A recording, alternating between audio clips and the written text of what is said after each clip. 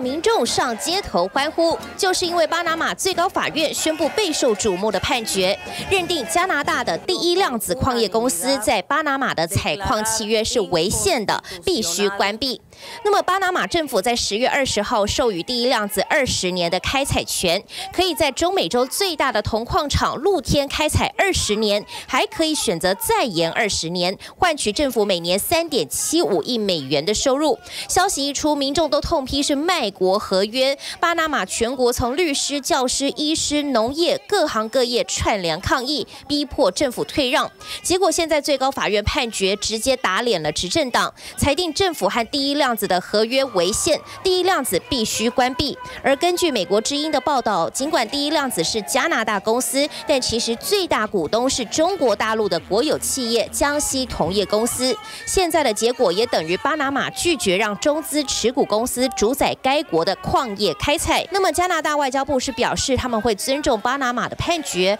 会再关注事件发展。想看最完整的新闻内容，记得下载 TVBS 新闻网 APP。